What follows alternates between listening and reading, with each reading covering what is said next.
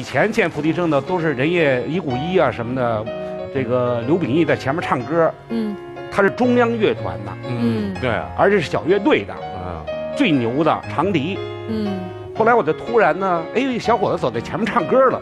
我觉得这唱歌这种唱歌是有音乐底蕴的，所以我很崇拜他。为什么崇拜呢？还有一个就是我从小的愿望嗯就是想唱歌，没唱成。少年合唱团的，是吧？对，啊你比如说我是航天级蔡国庆的师哥，那咱们认识太晚了。对呀，嗯 完了以后呢，那咱们认识没唱成啊。嗯，所以我这样就但是你特别崇拜，唱的挺好的呀。特别崇拜付金城。后来唱得好跟他有关系，他鼓励我呀。是吗？对，这几年我采访了很多你们当年的同学，啊就是你们那几届，他们经常讲你们俩的故事，讲说当年光北老师怎么骑个自行车带着你，说你的长发飘飘，惊叹了整个校园。请问这事儿是真的吗？那时候我年轻的时候还是不错，现在也很好啊。您是比他小两届是吧？对，三届，三届，哦他是我的师哥。对，他们讲了说说那个光北吧，一开始是刚上学的时候特老实，看特好，老大哥，说大家都那个喜欢他，说谁也没防着，都马上要毕业了，整一小学妹每天在学校里招摇，是这样吗？光北老师？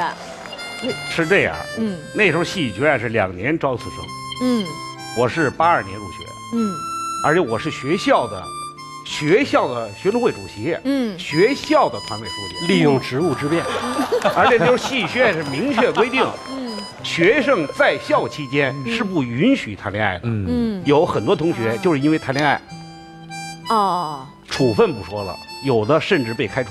劝退。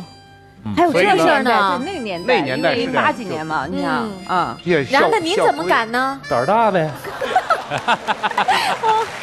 这个就靠自己的自律得，自律，你还有职务之便，对，还有职务之便，倒没有呐，职务之便就是帮扶比啊如说，不不是这样，比如说吧，就是因为我是学生会主席嘛，就是看他，比如说学校有运动会的时候，是吧？跳高，他跳高不？弹跳特别好，嗯，然后你得关心同学，还得正常的关心。大第一次没跳过去是吧？你得过去，哎，陈伟同学，不要胆怯，努力的往上跳。一定真真的真的。本来你知道我从小是羽毛球的，打羽毛球的，本来我应该能取得第一名的，就这么一说，我成第二名了。我需要落实一个动作，当时你就把手搁在人家肩上了吗？把手放下。没搁上去，就比划了一下。你跟你跟你老公解释一下，我碰你了吗？没有没有我碰了吗？你俩太幽默了。完了以后，完了以后呢，他就特别深情的点准，哦，特别深情的，你怎么看他深情啊？就是看他这呼吸有点急促呢。那年哪有那么害羞啊？开球不得了，害羞不得了，没使劲儿，预备开始，没过去。本来是能得第一的，后来最后得一第二。但是这样最起码女同学觉得，你看学生会主席，我师哥关心我，呃这很重要。后来我毕业以后，这不就加深印象了吗？嗯还有一个，他喜欢音乐。他为什么喜欢音乐呢？因为他那时候在班里学声乐吧，比较困难。他 以前打羽毛球啊，我在学校唱歌是不错的，嗯因为我在部队的时候，宣传队就是唱歌拉琴。我有演了一个话剧叫《残酷的游戏》，就这个演员得在台上又跳，还得唱，嗯还得拉琴。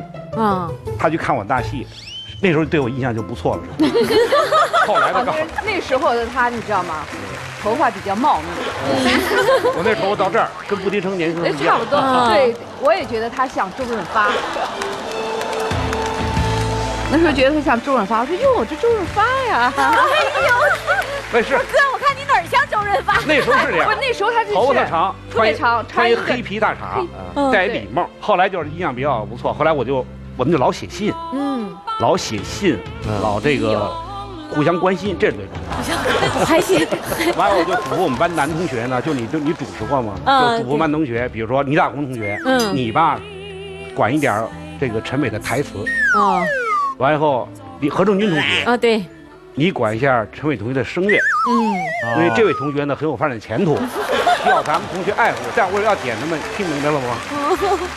都是找我心里有底了，你们还不就别忙活了。